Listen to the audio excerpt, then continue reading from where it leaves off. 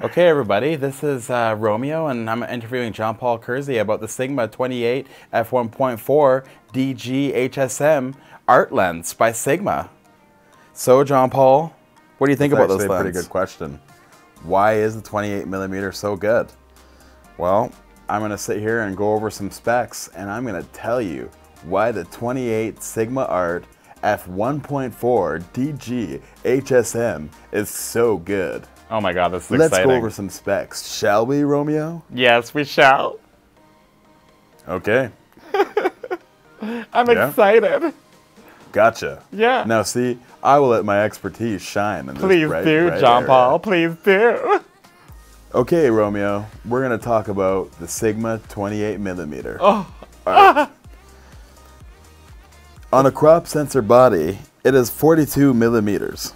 It has 17 elements and 12 groups. Renders color naturally. Multi-layer coating across all elements to improve contrast and Im- image quality. 9-blade round diaphragm weighs just under 1 kilogram, 2 pounds. Bigger than the 24 f1.4 art lens. oh.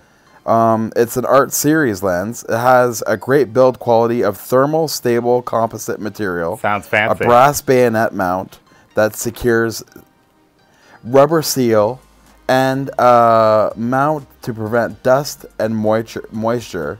Wide focusing ring. The lens can manual focus override. Fast, accurate, and precise control in autofocus. Great for fast moving subjects. Aperture is from f1.4 wide open to f16 while stopped down. Nice. Can focus close as 11 inches to subject. It has a 77 millimeter front filter thread. Most Has a lens hood with a locking button, and you can press the button to release the lens hood. If you purchase from an authorized dealer in Canada, you can get an authorized seven-year warranty. In the U.S., you can get four years of warranty.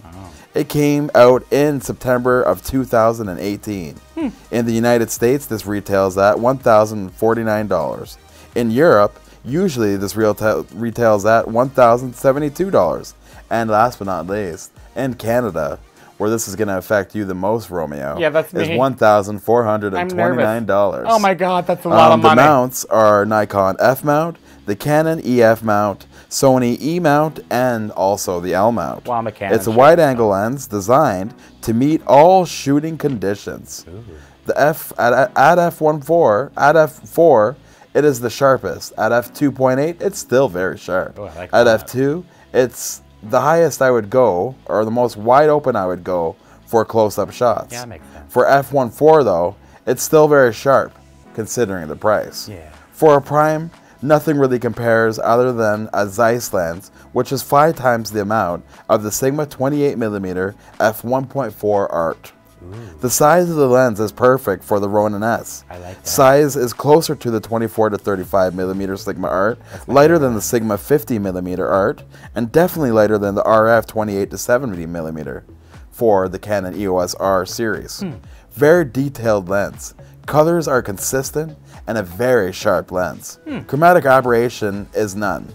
And at f1.4, there is slight vignetting, but in post, like Lightroom, it can be fixed by a click of a button. Very sharp at f1.4 wide open, and you get sharper and sharper as you stop down.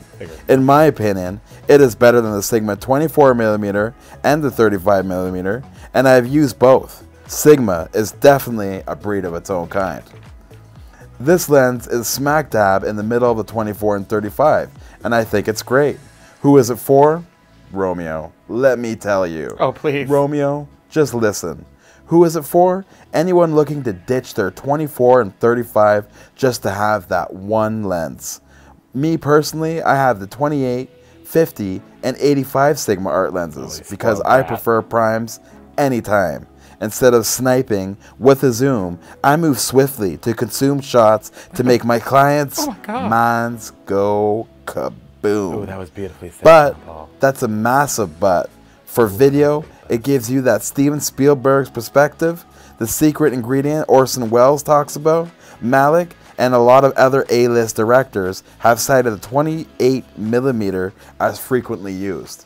beautiful focal length. So Romeo, Yeah. After that's said and done, I think that would be a good lens for you to use. I'm thinking so too, Jon Paul.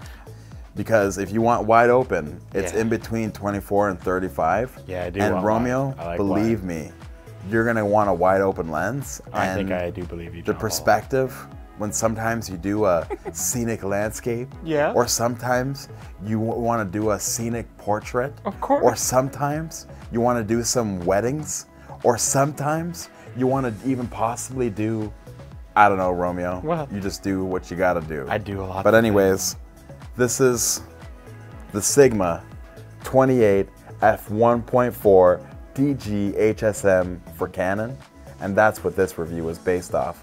Now romeo i'm going to let you talk and talk about the sample photos Well, we have some sample photos to demonstrate from the EOS R I agree. from Canon. The sample photos were and beautiful. I just love them so much, Jon Paul. that's right romeo I love them. I love them so much. So we're gonna do some sample well photos. i personally do think you should get it i think I wanna it get would be it. a buyer's I wanna get it for my 80D. because on your crop frame 80D, Yeah. it'll still be 42 millimeters. Oh my God, that's exciting. Canon has a 1.6 crop factor. yes, I got that nasty So- crop factor. Yeah. You take it from here, Romeo. I think I'm going to. All right, everybody, boys and girls, ladies and gents. This is uh, the 28 Sigma problem, DG HSM Ciao. f1.4 art lens. See ya. Enjoy